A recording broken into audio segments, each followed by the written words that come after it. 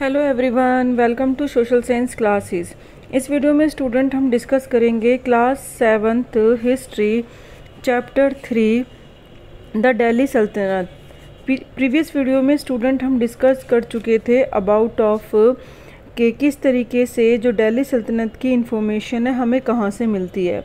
इस वीडियो में स्टूडेंट हम डिस्कस करेंगे from garrison town to empire the expansion of the Delhi सल्तनत यानी जो दिल्ली का रूलिंग एरिया था, वो इंक्रीज़ हुआ। किस तरीके से? और एक लिमिट एरिया से एम्पायर तक पहुँचा। ये जो मैप दे रखा है आपको, ये जो मेजर सिटीज़ हैं कैप्चर बाय द इल्तुमिश तो शमसुद्दीन जो इल्तुमिश हैं, उनके द्वारा ये एरिया दिखाया गया है, इसके अंदर जो उन्होंने कैप्चर करा है। बट ये सारी चीज़ें हम डिटेल में पढ़ेंगे ताकि और भी समझ आए कि किस किस का इसमें इंपॉर्टेंट रोल्स है। थर्टीन सेंचुरी में देखें तो कंट्रोल ऑफ़ द डेली सल्तनत rarely went beyond heavily fortified towns occupied by garrison यानी गैरिसन एरिया के बाहर बहुत ही रेयर होता था कि जो सुल्तान है वो उसको कंट्रोल कर सकें। बस उसी एरिया तक जो उनका फोर्टिफाइड था दैट में जहाँ पे उन्होंने बाउंड्री कर रखी थी, जिसके अंदर अपने सोल्जर्स के साथ एक राजा रहता है, अपने जो सुल्तान होता है। तो वो क्या कहता है, उसे गैरिसन टाउन कहते हैं। तो गैरिसन टाउन यानी जिसका फोर्टिफाइड है बाउंड्री है। तो उसके बाहर का कंट्रोल उनकी, उनके पास नहीं होता था, बहुत रेयर ही होता था। सुल्तान seldom controlled the hinterland of the cities and were therefore depend upon trade tribute and plunder for supplies that means कि जो भी मतलब सुल्तान जो थे हिंटरलैंड कंट्रोल जैसे वो उनके पास तो कंट्रोल नहीं था तो वहाँ से उनको सर्विस लेना या लूट का जो भी, लूट का बाद जो सामान मिलता है रिसोर्सेज मिलते थे या ट्राइब्यूट जो भी उनको एज अ गिफ्ट कोई अपनी तरफ़ से दे गया कि उनका डर है शायद कि कहीं हमारी एरिया पे टेरिटरी पे कंट्रोल ना कर लें उस वजह से तो कहीं ना कहीं हिंटरलैंड पर जो सुल्तान थे, कुछ इस तरीके की एक्टिविटीज़ करते थे क्योंकि कंट्रोल पूरा, पूरे तरीके से नहीं था। यानी रेयरली ही कंट्रोल कर पाते थे हिंटरलैंड को। अदरवाइज़ वो उनके साथ ट्रेड करके ट्रेब्यूट करके प्लंडर से कुछ ना कुछ सप्लाईज़ अपनी सप्लाईज़ के लिए इनके ऊपर डिपेंड रहते थे। What is the means of hinterland जैसे कि अपनी, आपने देखा कि गैरिसन टाउन क्या होता है? एक ऐसा फोर्टिफाइड यानी जिसकी एरिया की बाउंड्री कर रखी है, किला बना रखा है और वहाँ पे सेटलमेंट है सोल्जर के साथ एक सुल्तान की। और हिंटरलैंड मींस एक जो फोर्टिफाइड एरिया जो सुल्तान का है तो उसकी अराउंड ऑफ़ एडजेसेंट जो लैंड है, वो होता है हिंटरलैंड एंड अ सिटी और port that supply it with good and service और वो गैरिसन टाउन को अपनी सर्विस और गुड्स सप्लाई करता है। लाइक ये एक पूरा एरिया है जो कि राजा के अंडर है।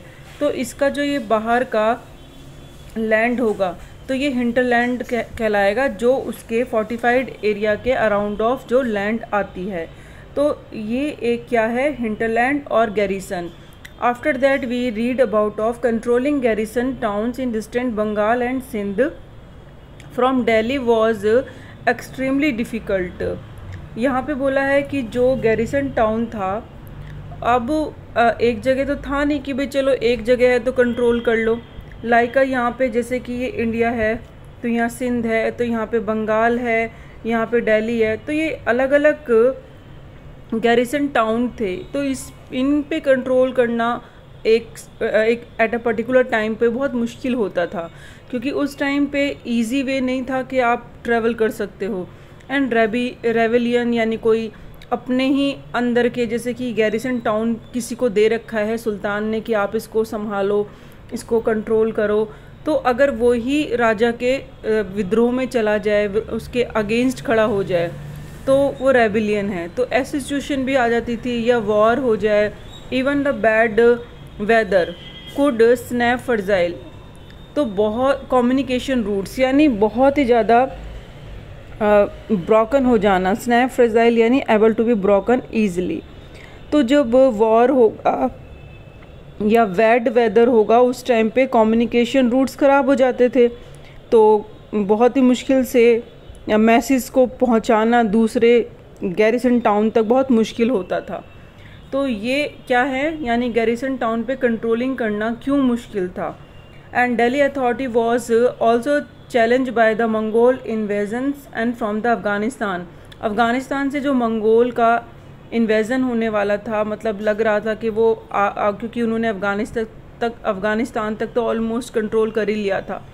तो दिल्ली अथॉरिटी के लिए भी अब एक चैलेंज था कि कहीं ऐसे ना हो कि फटाफट से दिल्ली तक पहुँच जाए, मंगोल और कंट्रोल कर लें। ठीक है? And by governor who rebel at any sign of the सल्तनत वीकनेस और सेकंड थिंग ये भी एक डर रहा था, डर रहता था जो सुल्तान था उनको कि जो उनके ही गवर्नर्स हैं।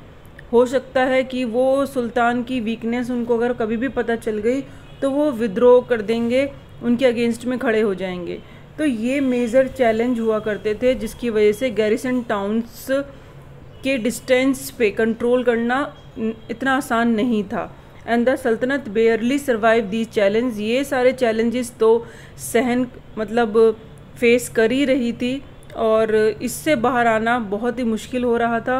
एंड इस consolidations occur during the region of Ghiyasuddin Balban and further expansion under Alauddin Khilji and Mohammad Tughlaq ये इसके जो गैरिसन टाउन्स बनाए थे, उसके बाद जो और भी रूलर्स आए अलग अलग डायनेस्टीज़ के तो पहले तो डेवलपमेंट हुआ ही और गैरिसन टाउन्स बने बट उसको एक्सपेंशन करने का काम भी उनके कमिंग ऑफ़ जो रूलर रहे, सुल्तान रहे, उन्होंने उसको बढ़ाने की कोशिश करी।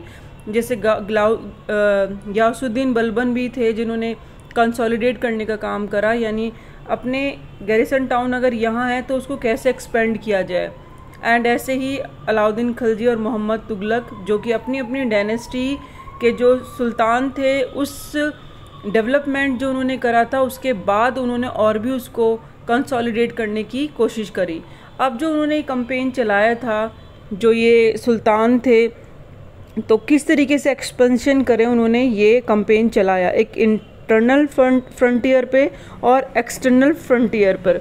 दो तरीके से कंपेन चलाया। पहला कंपेन था इनका जो है इंटरनल फ्रंटियर पे। तो इंटरनल फ्रंटियर पे था कि सल्त जो सल्तनत थी aim at consolidating the hinterland of the garrison town कि ज़्यादा से ज़्यादा कंसोलिडेट किस पे करना है? हिंटरलैंड पे।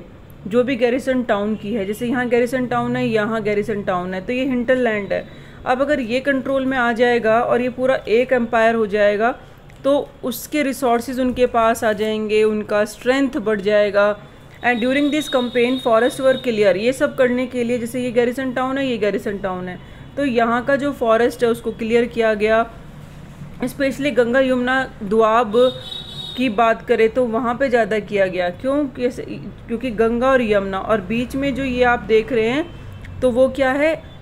उसको हम दुआब कहेंगे और डू यानी यहाँ पे जो दे रखा है टू है इसका मतलब और एब यानी वाटर, दुआब।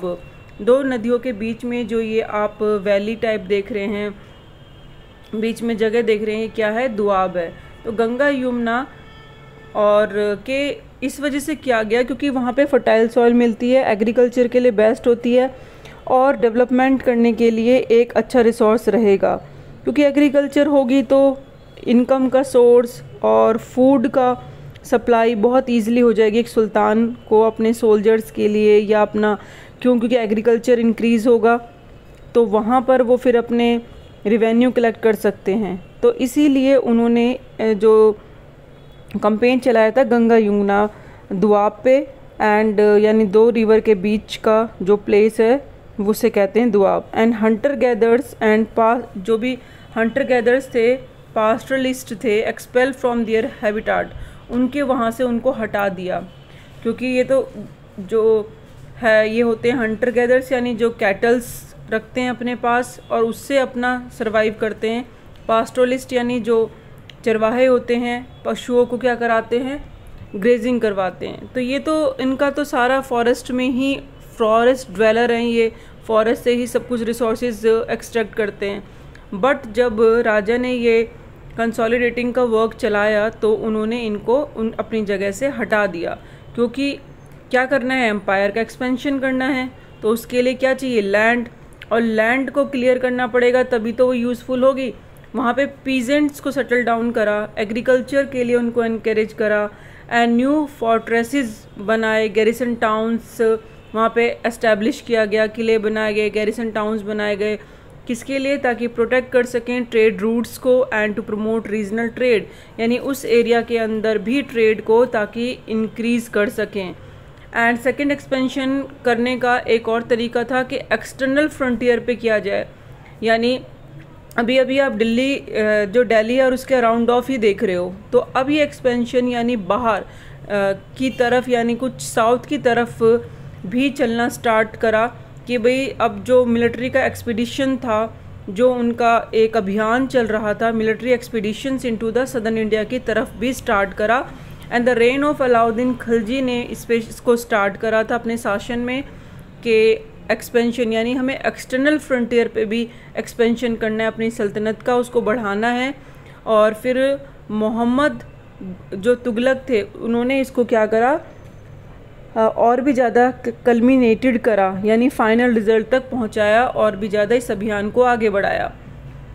और सल्तनत armies capture elephants horses slaves and carried away precious metals और जहाँ जहाँ वो एरिया कैप्चर करते जा रहे थे ये सभी रिसोर्सेज वो अपने आर्मी में, अपने एरिया में इंक्रीज़ करते जा रहे थे। मोहम्मद तुगलक, यानी 150 ईयर का जो टाइम था, उनका बहुत हम्बल बिगनिंग हुई थी।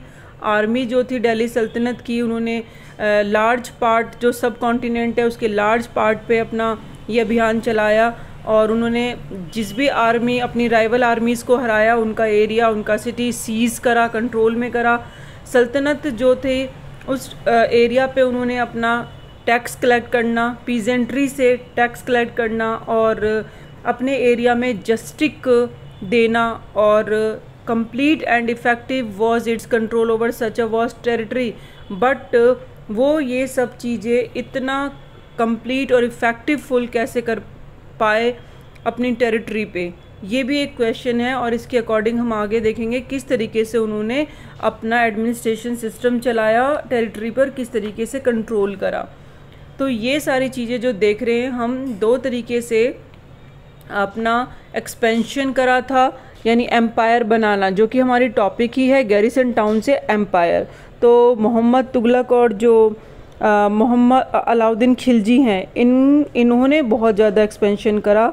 करा तो बलबन ने भी था ग्याउसुद्दीन बलबन ने और अपने अपने जो डायनेस्टीज़ थी, जो अपना अपना टाइम पीरियड था, उस टाइम पीरियड में जो उनके सुल्तान थे, जो उन्होंने डेवलप करा एक्सपेंशन करा, इन लोगों ने उसको और भी ज़्यादा कंसोलिडेट करा और किस तरीके से वो हम पढ़ चुके हैं।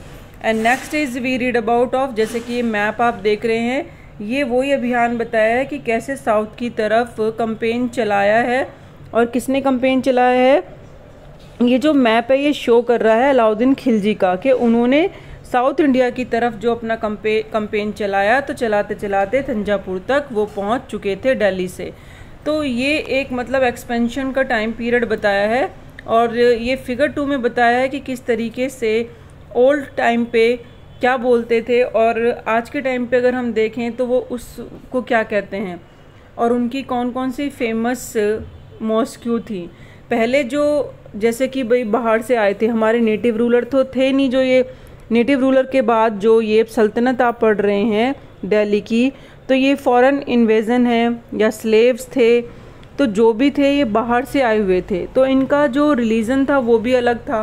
तो इनका इस्लाम था तो क्वात अल इस्लाम मॉस्क्यू है एंड मिनरेट यानी बहुत सारी मीनार build during the last decade of twelfth तो बहुत सारे जो मॉस्क्यू हैं, जो मस्जिद हैं, या फिर मीनार हैं बनाई गई थी ट्वेल्थ सेंचुरी के लास्ट टाइम पे, और Congress congregational mosque of the first city built by the Delhi सल्तनत के द्वारा ये बनाई गई थी, यानी इसे जामा मस्जिद भी कहते हैं। डिस्क्राइब इन द क्रॉनिकल्स से ये पता चलता है और उन्होंने डिस्क्राइब करा। जो ओल्ड सिटी थी दिल्ली उसमें इसको दिल्ली ये खुहाना लिखा गया है और अगर हम नए की बात करें तो इसमें जामा मस्जिद बोला जाता है।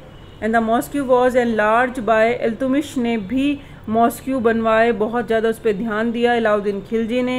And Minar was the built by two सुल्तान कतुबुद्दीन ऐबक जो कि ये है, और इल्तुमिश तो मीनार्स बनाने का काम भी इन्होंने करा। यानी एक अपनी आइडेंटिटी दे रहे थे, ये समझाने की कोशिश कर रहे थे कि अब हम पूरी तरीके से यहाँ पे हैं। एंड जैसे कि मस्जिद है तो मस्जिद क्या होती है? ये एक अरेबिक वर्ड है। लिटरली अगर हम देखें प्लेस वेयरा जहाँ पे मुस्लिम जो होते हैं प्रोस्ट्रेट्स करते हैं in reference to the Allah यानी घुटने के बल झुक कर भगवान की पूजा, वो भगवान के आगे अपना सर झुकाना।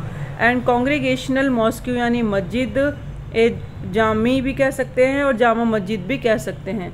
मुस्लिम जो अपनी प्रेयर्स को रीड करते हैं, उसे नमाज़ कहते हैं, जो वो एक साथ करते हैं। जामा मस्जिद में मेंबर्स ऑफ़ कॉन्ग्रीगेशंस यानी जामा मस्जिद के जो मेंबर होते हैं, वो बहुत रिस्पेक्टेड करते हैं लर्न मेल की, जो कि जिसे इमाम कहते हैं, जो कि उनका लीडर होता है लाइक जैसे एक टेंपल में एक मंदिर होता है, उसमें एक पुजारी क्या करता है, सारे डिलीवर्स करता है स्पीच या सरमन तो ऐसे ही रिचुअल्स ऑफ़ प्रेयर्स मस्जिद में इमाम करते हैं और वो डिलीवर्स करते हैं अपनी सरमन्स को, अपनी स्पीच को, उसे खुताबा भी कहा जाता है और ये फ्राइडे प्रेयर के नाम से भी जानी जाती है। फ्राइडे के दिन ये करते हैं। During prayer Muslim stand facing Mecca की तरफ़ फेस करते हैं, जो कि इंडिया में अगर हम देखें तो वो डायरेक्शन वेस्ट में आती है। इसीलिए इंडिया में मक्का की तरफ़ सब फेस करते हैं, जिसे किबाल किबाल भी कहा जाता है। यानी जन्नत का पत्थर कहा जाता है कि वहाँ पे है।